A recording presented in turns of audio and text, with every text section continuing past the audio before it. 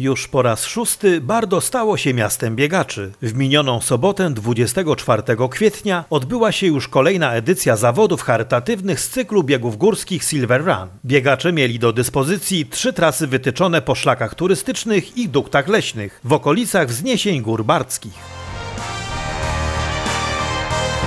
3, 2, 1, start! Powodzenia i uważajcie na siebie!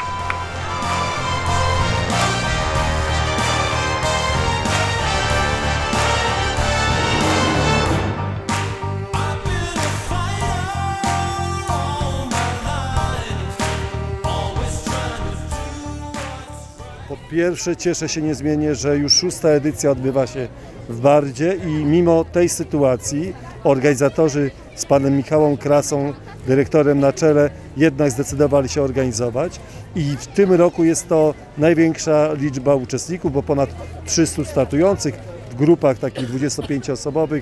Jest to bardzo widowiskowe. Cieszę się niezmiernie, że y, idea Barda jako to centrum rekreacji się realizuje. Mm, czyli mówimy tutaj o tej strategii związanej z biegami, ale już niebawem y, ruszamy z rowerami, rowerami górskimi, rowerami turystycznymi, pieszą wędrówką, także nasze marzenie się spełnia, tym bardziej, że również za tym idą konkretne pieniądze na inwestycje związane z całą infrastrukturą, właśnie tą sportowo-rekreacyjną i bardzo za moment, można powiedzieć za rok, za dwa będzie tym typowym centrum turystyki rekreacyjnej i sportowej. Jeśli się uda nam zrobić i zrealizować te zadania związane z budową ścieżek rolkowych, ścieżek nartowo-rolkowych, no to już będzie wszystko prawie y, w zapasie, żeby można spełnić się i powiedzieć, że zdrowy tryb życia to tylko i wyłącznie w Bardzie, mieście cudów. Jak się biegnie? Fajnie. Zobaczymy z powrotem ostatnie 100 metrów. Powodzenia! Dzięki. Dzięki za pomoc.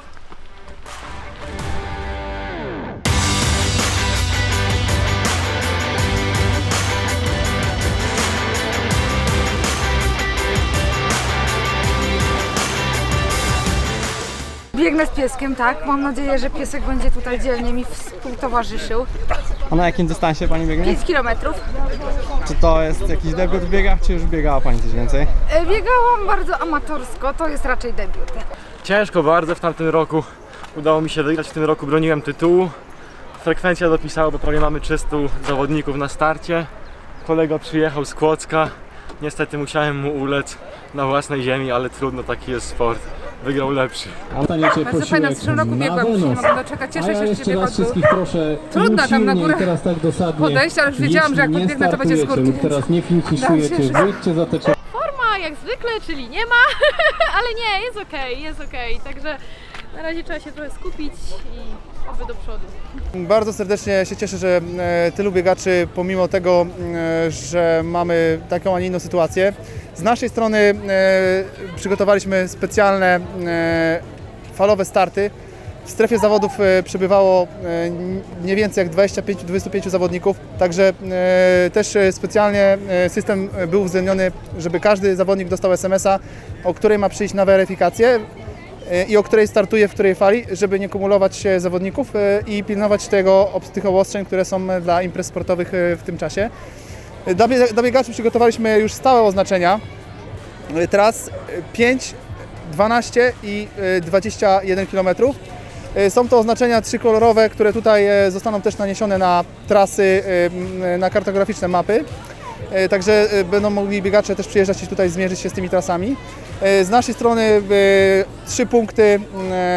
Chciałem też powiedzieć, że dzięki naszym wolontariuszom i pracy, również ogromu, która, wkładają, e, gminie Bardo, naszych sponsorów, tak e, Apteneo, e, VIP Cosmetics, do tego Skiraft, tak, czy Kopalnia Złota. I przychylność pana burmistrza sprawiła, że tutaj czujemy się bardzo dobrze i mam nadzieję, że w przyszłości też zapraszam Państwa na zawody Silver Run. W tym roku jeszcze jest możliwość zapisania się na piwniczną, to jest e, 4 e, września, piwniczna Zdrój i Srebrna Góra Ko- Koronnie. Mamy w tym roku jeden nowy dystans e, 6, 12, 21 i 42, także 12, e, e, 9 października będą e, zawody w Srebrnej Górze, także jeszcze jest szansa wystartować. E, Zapraszam serdecznie. Wielkie też podziękowania dla e, gminy Bardo, dla sponsorów i mm, dla samych biegaczy, e, całej, całej ekipy wo- wolontariuszy mm, e, i oczywiście też podziękowania dla Państwa za e, oprawę medialną tutaj e, tej e, naszej imprezy i zawodów charytatywnych. To jest e, dla nas e, szalenie istotne, e, aby też przekazywać tą ideę, bo jest to bieg charytatywny. Bieg ciężki, pierwsze moje takie wyzwanie, ale powiem warto. Warto się zmęczyć, żeby później mieć sukces, dobiec do, do mety. To jest najważniejsze, było super. Jest elegancko, czadowo, wspaniale.